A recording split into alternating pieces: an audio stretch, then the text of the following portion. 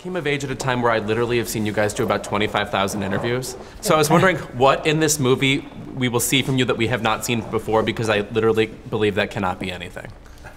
Or can be anything. So you haven't seen the film? No, I have seen it. You have? Yes. I want to know what you think we haven't seen before. You haven't seen Kevin and Nick P. Oh, Together. Woods. together. finally. Yeah. Yes. That's You haven't seen Brian and I fight.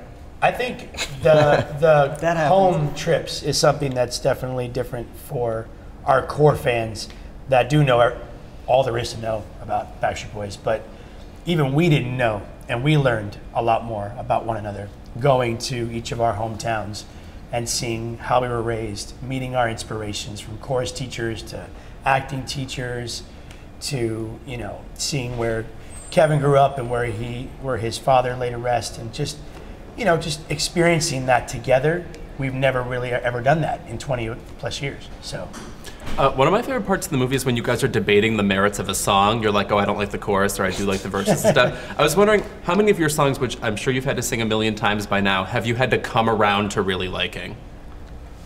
That's a good A question. of- Yeah. Yeah. That's, I said Yeah. a lot of it. I mean, we're five individuals that have very strong opinions. And different tastes. Um, and different tastes. And uh, most of the time we meet somewhere in the middle. But sometimes you, you know, like there may be a song that I can't stand that all the rest of the guys love and they want on the record, and I just have to suck it up and accept that I was outvoted on this particular one.